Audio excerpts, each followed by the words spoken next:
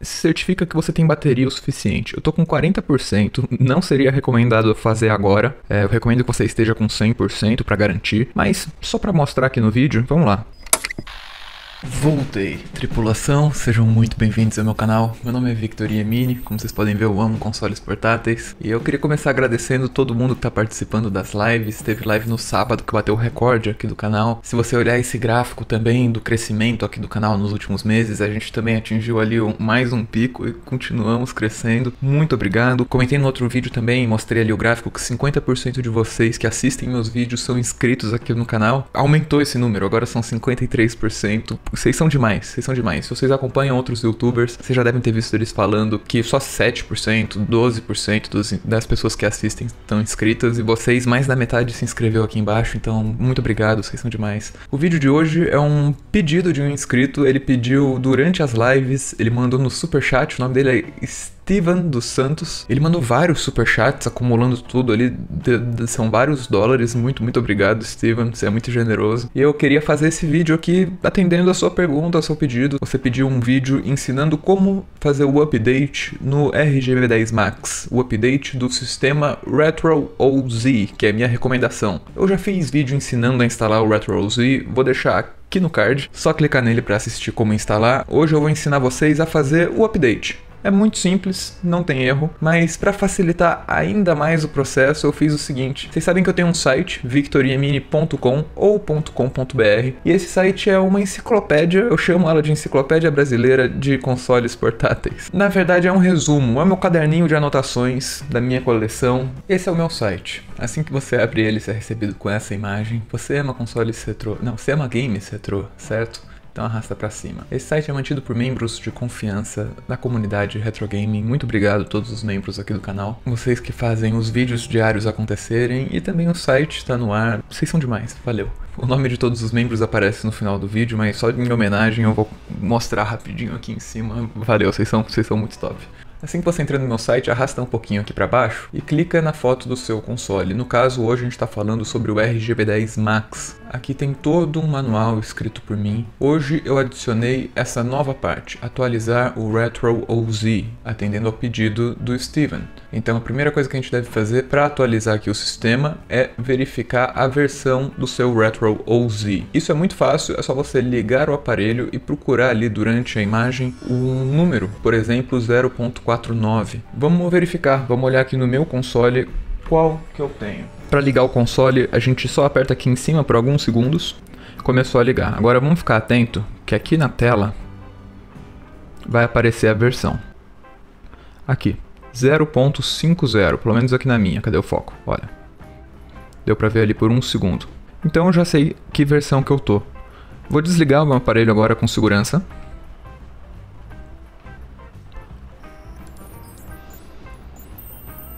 Ele apareceu ali de novo, o número. Então na hora que liga e na hora que desliga, eu vou agora remover o cartãozinho micro SD. Eu uso e recomendo um cartãozinho da Samsung de 128 ou 256 GB. Esses são os tamanhos interessantes para você ter nesse console. Agora, insere o seu cartão micro SD no seu computador e volta aqui para o meu site. Primeiro passo a gente já fez, a gente já verificou o número. No meu caso é o 0.50. Agora a gente deve acessar esse link, esse site, ele vai abrir numa nova aba e aqui vai estar tá descrito para mim a última versão disponível e abaixo todos os updates. No meu caso, como a gente verificou ali, eu já tô na versão mais atualizada, mas não se preocupa, eu ainda vou fazer uma atualização, porque eu sei que já tem aí o 0.51. Eu vou fazer todo o processo na sua frente. Se você tem o 0.48 ou 0.49, você deve clicar aqui na versão correspondente. Então, se você está na 0.48, clica nessa que é a versão 0.49 para consoles no 0.48. Se você está na versão 0.49, clica nessa, que é a versão 0.50 para consoles que estão atualmente na 0.49. Basicamente é isso. Vamos fingir que eu vou baixar agora do 0.49 para o 50. Eu vou só clicar aqui nesse link, ele abriu aqui para mim. Aqui ele diz tudo que mudou da versão anterior para essa. Muito legal porque teve muitos updates. Aqui embaixo tem também as instruções restantes. São as mesmas instruções que eu coloquei aqui no meu site. Eu só traduzi e simplifiquei um pouco o que eles escreveram ali. Então, basicamente, o que você tem que fazer é, clicou ali naquele link do update, a primeira coisa que tem aqui é o link para o download download, nesse mega. Clica aqui no mega, ele vai abrir esse site e você faz o download dele. O update é bem pequenininho, não é nada muito grande não. Uma recomendação que ele faz aqui, se você está fazendo o update do 0.49 para o 0.50, é que você tenha a internet conectada, porque se ela estiver conectada, ele vai tentar atualizar o Ubuntu, que é o sistema que está rodando ali atrás. Já baixou aqui o seu arquivinho? Agora eu vou baixar o meu. Eu não recomendo muito, mas se você descer até o final do post e mudar aqui para a última publicação, olha só, estou indo pro 15 e procurar aqui nesses últimos posts, sempre tem uma versãozinha beta. A versão beta o que que é? É um pré-lançamento. Eu gosto de me arriscar, mas não recomendo para todo mundo. Como o processo da instalação do beta é o mesmo do, do update normal, eu vou instalar o beta e vocês instalam aí o update normal, combinado? Tá aqui, a última versão beta 0.51, dia 14 de agosto. Eu já baixei essa versão, deixa eu achar aqui. É esse arquivinho aqui. Eu vou remover ele do zip, clicar duas vezes em cima dele. Pronto. Aqui dentro deve ter dois arquivos. Eu vou copiar os dois, selecionar, copiar. Tanto faz se você está em Windows ou Mac. Lembra que eu coloquei meu cartãozinho microSD no computador antes? Esse é ele. Tem duas partições, Boot e Rooms. Aqui dentro de Rooms eu vou procurar ports. Achei. Aqui dentro de ports eu vou apertar Ctrl V ou Command V se você está usando Mac. Ele está copiando o update lá para dentro. Já copiou. Vamos só confirmar se ele está aqui em algum lugar. Aqui, olha update whip e update.tar.gz.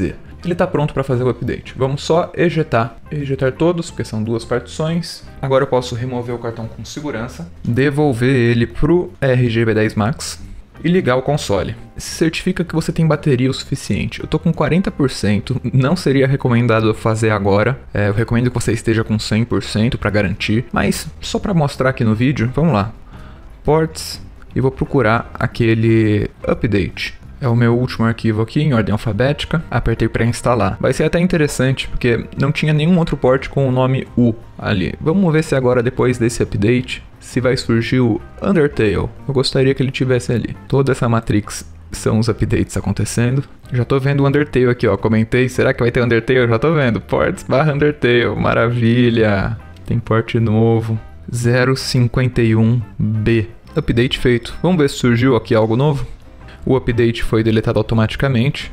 E aqui dentro agora surgiu o Undertale.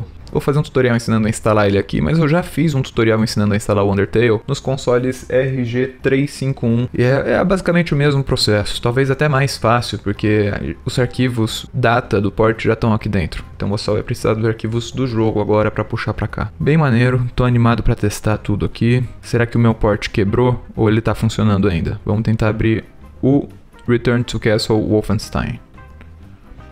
Abriu. Vamos ver se o meu save ainda tá lá. Eu não tinha um save? Eu acho que eu tinha passado da primeira fase, ou apagou meu save agora, ou tinha passado dessa primeira fase em outro console. Antes de fazer update, faça um backup aí dos seus saves para garantir. Mas basicamente é isso. Temos aqui o nosso console RGB 10 Max atualizado. Eu atualizei na versão beta, vocês não recomendo muito, só quem quiser um pouco se arriscar. O que eu costumo fazer? Eu faço backup das minhas pastas de jogos e da minha pasta BIOS e reinstalo o programa, reinstalo o RetroZ do zero no meu console, puxo as pastas ali de volta e volto a configurar ele do jeitinho que eu quero. Sempre bom porque assim tô com o console mais atualizado possível. Vai que eles fizeram algum update que acabou não grudando no meu console porque eu fui atualizando aos poucos, não sei. Pode ser que funcione normalmente. Mas é isso, isso é o que eu costumo fazer.